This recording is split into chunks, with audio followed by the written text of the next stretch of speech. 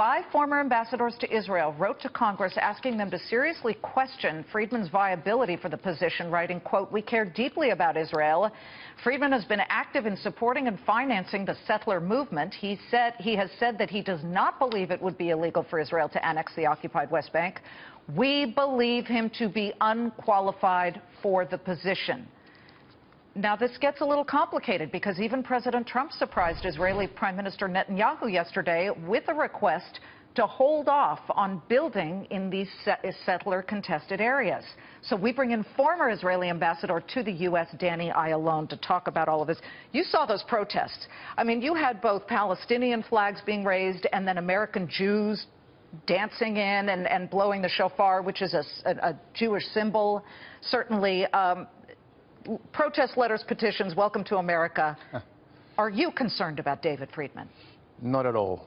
And by the way, whatever you see here, you see in Israel.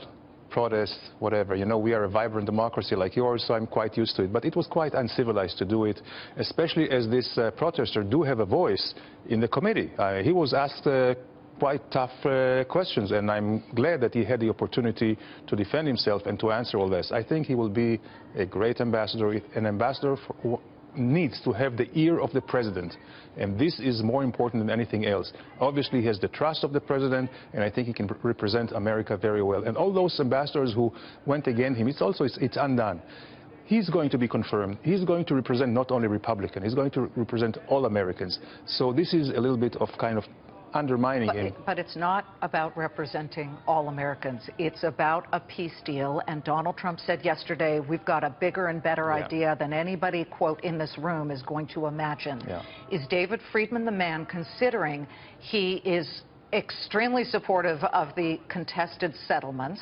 Uh, in East Jerusalem and, of course, the West Bank. His father is, is a, one of the founders of one of them, Beit El. And so I'm just wondering, is he the guy who can bring the Palestinians and the Israelis together, or do you really think it might be Jared Kushner, his Donald Trump son-in-law? Well, one is entitled for his own convictions and beliefs, but uh, I'm sure he's a professional enough to separate this and the policies he's going to uh, represent and, and implement. Uh, as for the president uh, talking about a larger deal, in my mind, he's talking about a regional peace deal, whereby bringing in from the outside uh, the Saudis, the Gulf countries, other Egypt, Arab nations. Arab nations, yes. Always the, um, the, the, the principle was, or the thinking was, well, let's go from inside to outside. Let's get a deal with the Palestinians, let we go to the Arab. No, it does, didn't work. For 25 years it didn't work. So the attempt now to start on the outside to bring the Palestinians in maybe well, will hurt. That's where Donald Trump may really have uh, uh, the idea. Whatever we've been doing for 20 years is not working. Absolutely. So maybe bring in the Saudis, who we know have a semi-decent relationship with the Israelis, certainly the Jordanians. But, you know, the Arab League tends to not want to uh, recognize Israel's right to have its own Jewish state. So how do you get over that?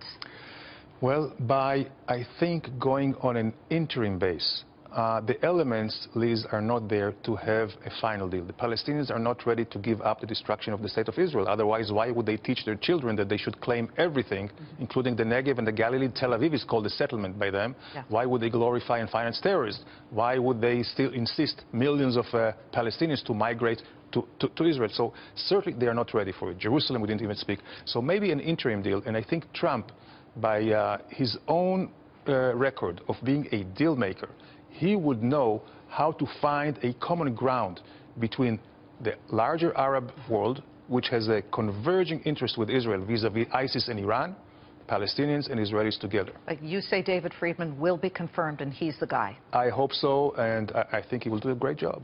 Ambassador Danny Ayalon, former Israeli ambassador to the U.S. You've served your country brilliantly as well. Thank you so Thank much. You.